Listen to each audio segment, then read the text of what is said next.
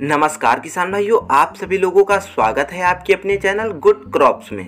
किसान भाइयों, आज की इस वीडियो में हम बात करने वाले हैं फूल गोभी के काफ़ी शानदार वैरायटी के बारे में। किसान भाइयों ये वैरायटी सजेंटा कंपनी की है और इस वैरायटी का नाम है सुहासिनी।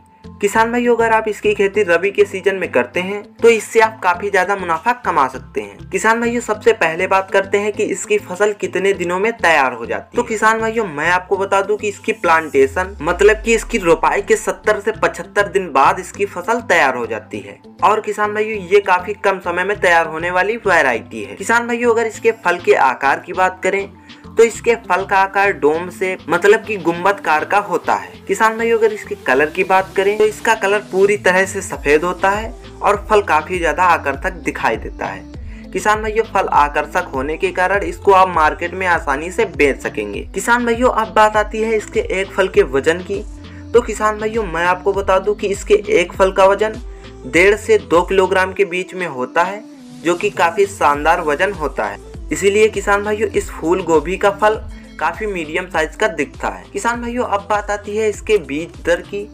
तो किसान भाइयों, मैं आपको बता दूँ कि जब आप इसकी खेती एक एकड़ में करेंगे, तब आपको 250 से 300 ग्राम बीज की आवश्यकता पड़ेगी। और किसान भाइयों, इसकी नर्सरी तैयार होने में 25 से 28 दिन का समय लगता है।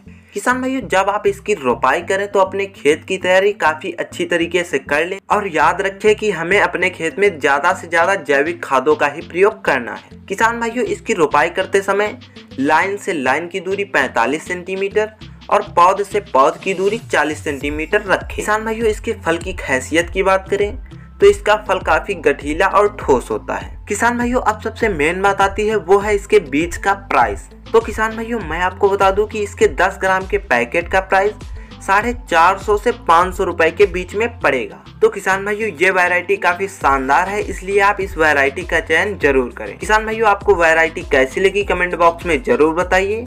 और वीडियो अच्छी लगी हो तो वीडियो को लाइक करें। और आगे भी इसी तरह की अच्छी से अच्छी जानकारी पाने के लिए हमारे चैनल को सब्सक्राइब ज़रूर करें। तो आज के लिए इतना ही। जय हिंद जय भारत।